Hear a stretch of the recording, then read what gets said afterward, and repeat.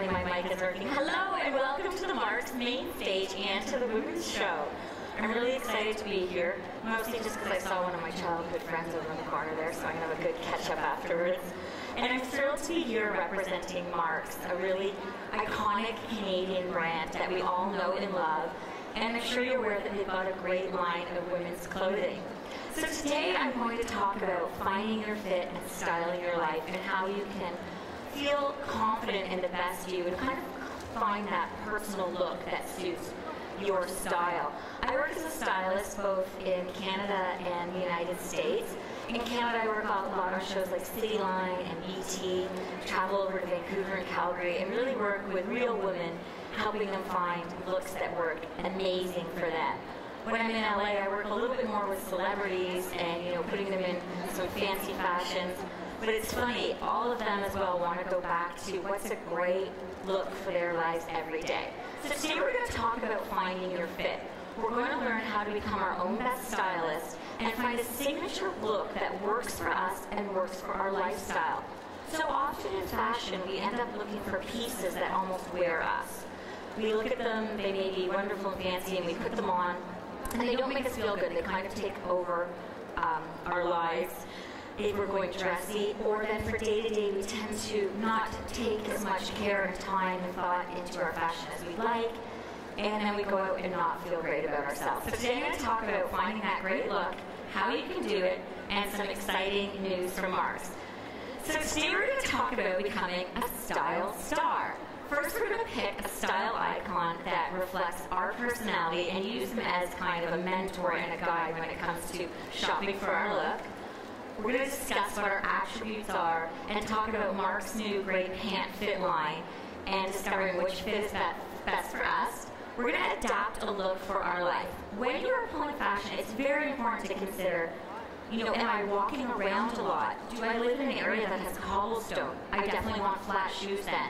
You know, I bending things? I need a flexible pant. These are some really practical things that we need to think about when we're shopping for fashion so we pick things that really work for our lifestyle. We're going to talk about finding our fit, out with the old, how we can streamline our closet and wardrobe and the process of finding that, and really owning our look.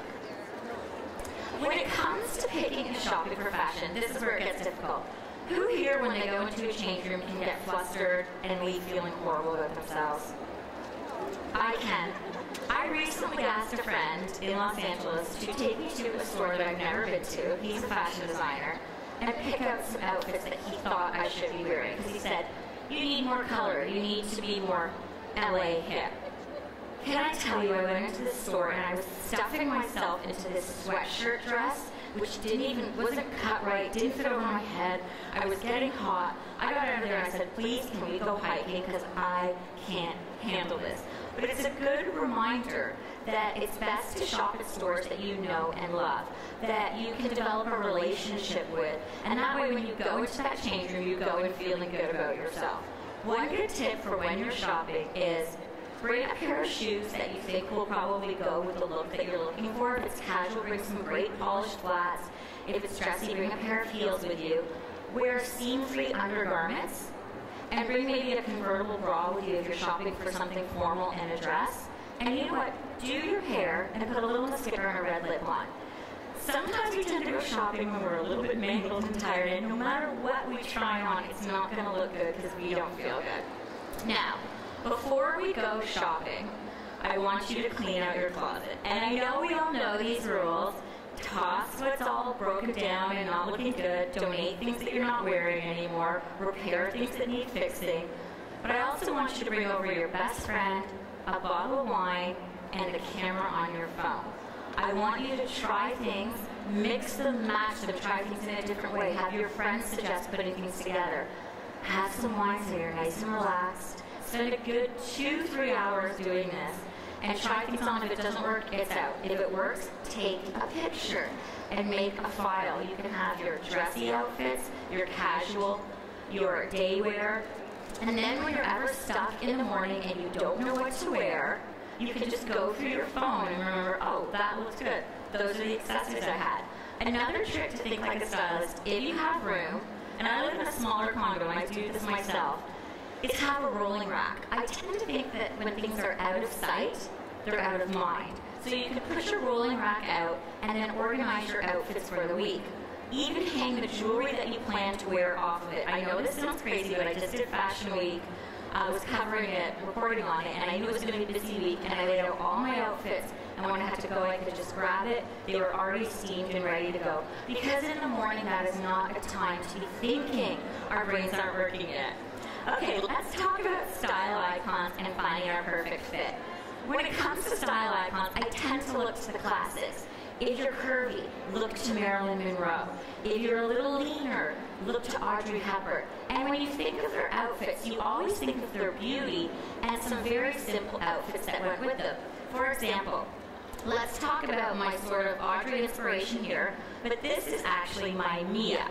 And this is a new pant fit for Mark's which is designed to really help women find their perfect fit. It's all about making things easier at Mark's. So once you know what fit you are, you can go in, grab those great pants, and then grab some tops, accessories, and shoes to go with them. And what's great about it is I even had my assistant pick up these pants for me. They're also a Mia from Mark's on Thursday, and I didn't have time to run out because of the shoot to pick them up. And I knew to tell her, size 8 Mia get any style, whatever pattern they have, I know I'll like them. They came back, I slipped them on, and I think they look and feel great. Okay, so this is our first little model. This is Mia, and Mia stands for mid-rise. So she's a mid-rise waist, and what's great about a lot of the Mia pants is they've got this really awesome elastic waistband, but it's done in a really flattering tapered style. So you pull them on almost like a jegging, but they're not too second skin tight. You've got a little bit of room with them. And this is great if you've got a sort of up and down figure, nice and straight, but it also works great with curvy girls who have a little bit of a butt. What I love about the Mia is that you can pair her with a tall boot when you're going casual, and it looks really chic. Often when we're putting together a casual outfit, who here does a cast off? So it's that old pair of track pants or workout pants, a sweatshirt, fur coat over top. It takes just as much time to pull on a great pair of Mias a tailored boot that keeps it all in, and then a fabulous top. I love this top from Mark's because stripes are always chic and very, very Audrey. And I would just push up those sleeves a little bit. No, she's not going to stay for me. Add a necklace. When you're, when you're, Mia, she's trying to steal my mic. When you're dressing casually, add a little bit of jewelry because it can really add some flair. And then to cinch it in and show off this great waist, I just tied a knot on the shirt at the back. So that's our Mia, and she's an amazing, fabulous fit. And this comes in black, there's patterns, so really you may want to go in and check it out. Some other style icons we have is our Lola. Oh, think of Diana Ross, such a fabulous icon, and the beautiful Grace Kelly, and Lola is low rise. So she's got a great low rise fit. You can see on her waist here, which is really flattering if you're tall and lean. Looks really great. This is a great fit for a taller girl, or even if you're curvy and you've got a longer waist. The low rise is going to sit really nice on that. And she is in our work attire. When dressing for the office, we can tend to get a little boring or we can tend to get stuffy and uncomfortable. Who has the person in their office that wears those noisy heels and clicks and clacks up and down? Okay, when it comes to shoes in the office, always look for comfort but style and a rubber sole. Flats are absolutely great. These are from Mark's, and I love them because they've got kind of that Chanel feel. They're Denver Hayes, and they've got this great flexible rubber sole. Flats look great and polished. You can even roll up the cuff a little on a casual Friday. If you do go with a heel, tuck a pair of flats in your top drawer. And if you're going to go out after work or you've had an extra long day and your feet are killing you, trust you, trust me, you will thank me. When it comes to dressing up top, look for great cotton blazers because they're going to give you a lot of breathability. Because a lot of times offices will go from cold to hot. Who has that office? I work in one, and it's, it's a bit it can get a bit much. And sometimes you may want to look for a, a blazer that's unlined. A lot of times stores will put in a very cheap nylon lining in their blazers, and it can really make you sweat. So this is very breathable and it's cotton.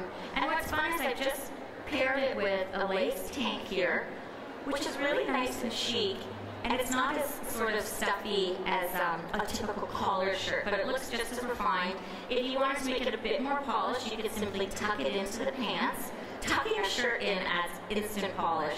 And another thing that adds a little flair is just popping that collar and then pushing up her sleeves. Right there. So that looks very chic, and what I like about our Lola is that her sleeves stay up. So that's kind of a great casual wear, and that's our Lola low rise. Now we're going to move on to our next slide. Oops, went a little too fast there. Okay, now we're on to our Chloe. Can you guess what Chloe stands for with that picture there? Curvy! Fabulous we love Chloe, because she is all about the curves. And she has this great fit here, and you can see how much that flatters the curves. And what's nice is when you're curvy is to go with a boot cut, because your curves accentuate here, and then it goes out and it balances you out. And this is our going out attire. These pants are great because you can see they've got this faint little plaid pattern on there. And all of these fits come in a bunch. I just saw a great um, jacquard pattern, black, white, velvets, corduroy. There's an amazing selection of them. So this is our going out outfit. When you're going out, again, especially this time of year, things can get hot or cold depending on where you're going. Go for a lot of drapery and flow. I love this chiffon tank. It's so beautiful. And I like that it's got this nice elastic waist and that will cinch in and show off those fabulous curves. And if it gets hot, you can take this little sweater off. When you are putting something over top, keep the button-down cardigans for daytime wear. They can tend to look a little stuffy in the evening. In the evening, just remember it's always about flow, drapery, movement. So this one's great because it just ties up. You can just flip it over or tie it in a little bow, add some accessories, and you're good to go. For the boots, look for a little detail. I've shown a lot of black on her outfit, but let's be honest, black is universally flattering. These are a great little booty for going out. Got some nice pattern on there. Again, we've got our flexible, comfortable sole. Comfortable shoes are everything. Make sure they still look chic, but if you're comfortable, you're going to feel more confidence, and confident is really everything. When you are shopping for your winter wardrobe, most of us tend to gravitate towards black. Where you may want to add a pop of color is with a scarf, a handbag, or a winter coat. We often think that getting a dark winter coat will match everything, but you can go for a bright red or something fun, and then if you've got this black silhouette with the bright coat over top, you're creating this nice, long, lean line, which is really, really flattering. All right, who's next? Okay, we missed the fabulous Hannah. She's our high rise. This is my lovely, I love this jacket so much. And you can see when you pull this up, this is our high rise straight. This is such a universally flattering fit, and what I love is that it keeps everything cinched in. It's that great classic, so if you're curvy or lean, this is gonna look amazing and be really comfortable to wear. And this is my casual outdoor gear. This is a fabulous coat. Anything that's got a little bit of military green in it is really big this season, and it's going to carry you for a lot of other seasons. It works well with black, brown, and gray. It's really flattering with everything.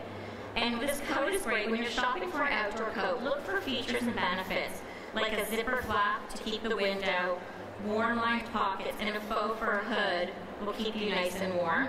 And of course, we always need sunglasses for the outdoors. We're going to go back to our Audrey Hepburn style icon again and just pop those on and you can see how classic that style is. If you are ever in a hurry, just pull your hair back to a low bun, throw on some red lipstick and a pair of glasses, and when you've got a great wardrobe like this, you're going to feel so much better and confident and just face your day better. This is a great fit of pants. It's a high rise, but you can see it's also fun because it's done in this very fine corduroy that looks like velvet. So this is great for day wear and it's really nice for going out as well. And I paired her with this really fun boot. Casual boots don't always have to be flat. You can get a little bit of heel. And this is fun because it's got this nice little double zipper here. It's all really about those added details. So we've gone over our girls. We've got our Hannah high rise, Mia mid rise, Chloe for the curvy, and Lola low rise. So I really encourage you to head out to Mark's, find your fit in the pants, and then start building your wardrobe from there. You always want to maximize your style by making the fit right for you. Okay, a few other additional tips. What can make us look instantly polished and chic? A scarf. Who here loves Jennifer Aniston's style? I simply think she's great. But if you break down her wardrobe, except for that red carpet, she almost always has on a pair of flat shoes, boyfriend denim, or a Mia style denim rolled up, a tank top, a scarf, and a little jacket over top, a little leather jacket. And she always has a scarf. And it just gives her that polished look. So think about, you can go onto Pinterest and there's great tutorials on how to wrap a scarf from large ones to smaller ones. Scarves can add so much flair. The little thin ones, tie them around your wrist, tie one on your purse. It's just that little extra pizzazz.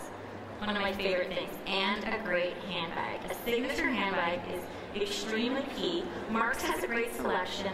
And you also may want to think about an investment handbag. This is where you want to splurge a little bit. Always look for high quality leather shoes like the ones that we're showing, and then maybe a fabulous handbag to go with it. And if your friend's having a birthday party, instead of getting a bunch of little gifts from all your friends and things that she doesn't need, or even a shower or bridal shower, everyone should in 25 to $30 go to that fabulous place and get her that designer handbag she's always wanted. It's really affordable to sort of do a group buy, and that's a fun way to do it and makes it very memorable for her. Okay, so we talked a little about cleaning out our wardrobe. We're going to sort and clean out our closet, have our clothing tailored. If something is not fitting perfectly, like a fabulous dress or something, take it to the tailor. When people are designing things, they use fit models, which we all have very unique fits, as we can see by all of, all of our pant fits up here. And many times formal dresses, they don't offer that. Don't be afraid to use a tailor. It's less expensive than you think, and it'll make your clothes fit fabulously. Buy less, buy quality, and find your fit. Once you know what works for you, stick with it.